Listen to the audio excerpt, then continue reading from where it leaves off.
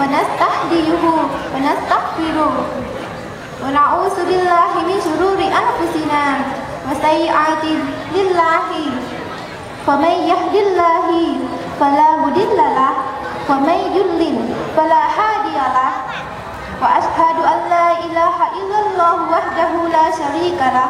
له الملك وله الحمد يحيي ويميت وهو على كل شيء قدير wa ashhadu anna muhammadan abduhu wa rasuluhu wa saqibuhu wa habibuhu wa khairatuhu min khalqi. Sallallahu ala min khalqi minar rusul fa balagha risala minal ardah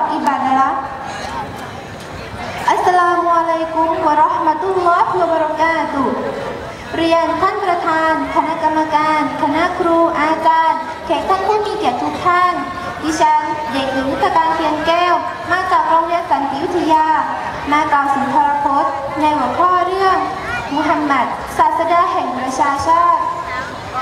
ท่านผู้มีเกียรติที่เคารพทุกท่านครับ ศาสดามุฮัมมัดสลลัลลอฮุอะลัยวะซัลลัม ได้ประสูติมาจากเชื้อสายอาหรับ หรือที่เรารู้จักคือ มาจากเผ่ากุไรชหากว่าเราสื่อประวัติ นอน ก็จะไปสิ้นสุดที่ท่านศาสดาอิบรอฮีมอะลัยฮิสลามท่านศาสดามุฮัมมัดสลลัลลอฮุอะลัยฮิวะซัลลัมเป็นศาสนาทูตของพระองค์ ที่พระองค์ทรงเลือกให้เป็นศาสนาทูตของพระองค์เป็นคนสุดท้ายจากบรรดารอซูลทั้งหมด ให้เป็นผู้เผยแพร่ศาสนาของพระองค์บนผืนโลกใบนี้ โดยมีเป้าหมายโดยรวมดังต่อไปนี้คือ ประการที่หนึ่งท่านศาสดามุฮัมมัดصلى الله عليه وسلم โดยเรื่องนี้ได้ถูกระบุในอายะอัลกุรอานที่ว่าأعوذ بالله من الشيطان الرجيم وما أرسلناك إلا رحمة للعالمين ความว่าและเราไม่ได้ส่งเจ้ามาโอ้มุฮัมมัดเพื่ออื่นใดนอกจากมาสาความดีแก่บรรดามนุษย์ทั้งมวลประการที่สองท่าสุาสดามุฮัมมัดสุลลัลอะลัยวะซัลลัมเป็นผู้มาขัดเกลาด้านการศรัทธาของมนุษย์ ท่านผู้มีเกียรติที่เคารพทุกท่านคะความเสื่อมโทรมทางด้านการศรัทธาของของมุสลิมในยุคปัทการก่อนนั้น เต็มไปด้วยความเลวร้าย ความหลงผิด และความป่าเถื่อนอาทิเช่น การดื่มเหล้า การดื่มสุรา การกินดอกเบี้ย และการฟังเด็กผู้หญิงทั้งเป็น เป็นต้น เรื่องเหล่านี้จึงถือเป็นความเสื่อมโทรมทางด้านการศรัทธาและคุณธรรมทั้งสิ้น ประการที่สามท่านศาสดามุฮัมมัดสลลัลลอฮุอะลัยวะซัลลัมเป็นผู้นำทางด้านจรรยาบรรณของมนุษย์ โดยได้ระบุในอายะอัลกุรอานที่ว่ากอลัลลอฮุสลลัลลอฮุอะลัยวะซัลลัมมันสันนากาอิลลารัฮมะตัลลิอาลามีนความว่าและแท้จริงเจ้านั้นมุฮัมมัดอยู่บนจริยธรรมอันยิ่งใหญ่ที่สุด และมีรายงานจากท่านอานัสบุตมาลิกได้ทรงกล่าวว่า กานะรอซูลุลลอฮิศ็อลลัลลอฮุอะลัยฮิวะซัลลัมอัสนันนาซาคุลุกัน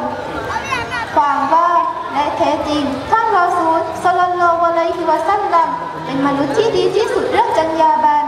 รายงานโดยบุคคลีและมุสลิม ท่านผู้มีเกียรติที่เคารพทุกท่านครับ จากที่เราได้ศึกษาคำสอนและการปฏิบัติตัวของท่าน เราจะเห็นได้ว่า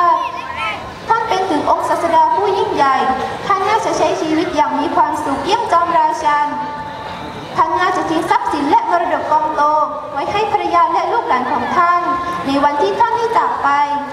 แต่ประวัติศาสตร์ได้ทำให้เราทราบว่า ท่านพอใจที่จะนอนบนเสื่อหยาบยาบท่านผิว อย่างที่คนจนผิว ท่านรับประทานอาหาร อย่างที่คนอื่นรับประทาน ท่านเย็บรองเท้าและเสื้อผ้า ท่านไม่ฟุ่มเฟือย ท่านสมถะและท่านดูแลครอบครัวได้เป็นอย่างดี หลังจากที่ท่านเสียชีวิต ท่านทิ้งอาหารไว้ให้ภรรยาของท่านเพียงไม่กี่ชิ้น และผ้าเพียงไม่กี่ผืน ท่านไม่เคยใช้อำนาจหน้าที่และบารมีทั้งที่มีผู้ตามท่านนักแสนท่านผู้มีเกียรติที่เคารพทุกท่านคะ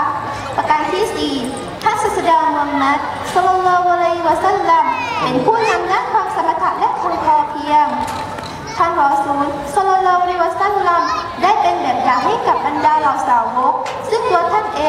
แบบอย่างในการดำเนินชีวิตคำขอพรของท่าน ต่อบรรดาพระผู้อภิบาลของท่านบรรล่าหลายหลายครั้ง เป็นสิ่งที่สะท้อนให้เห็นถึงภาพลักษณ์ของท่านว่าท่านมีความสมถะและความพอเพียง ท่านผู้มีเกียรติที่เคารพทุกท่านคะความสุขก็ให้เกิดสิ่งเปลี่ยนแปลงได้การพัฒนาในสังคมมากมายซึ่งไม่ได้อยู่ที่ว่า เราสามารถทำให้คนมีกำลังทรัพย์มากขึ้น อยู่ดีกินดีขึ้น ซึ่งนะ กันว่าเรามีความพอดีและพอเพียง แต่มันอยู่ที่ว่าทำยังไงให้มือของคนในสังคม ยังคงแสวงหาปัจจัยยังชีพเพื่อหล่อเลี้ยงชีวิต และเลี้ยงชีวิตคนที่เราต้องรับผิดชอบดูแลไม่แบ่งมือของใคร รู้จักแบ่งปันให้กับคนที่เขาอ่อนแอกว่า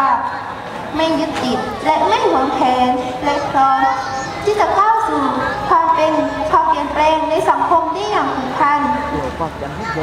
ค่ะสำหรับในค่ำคืนนี้ ดิฉันก็ขอจบการกล่าวสุนทรพจน์ไว้เพียงเท่านี้ หากผิดพลาดประการใด ก็ขออภัยไว้ณที่นี้ด้วยค่ะوبالله التوفيق والهداية السلام عليكم ورحمة الله وبركاته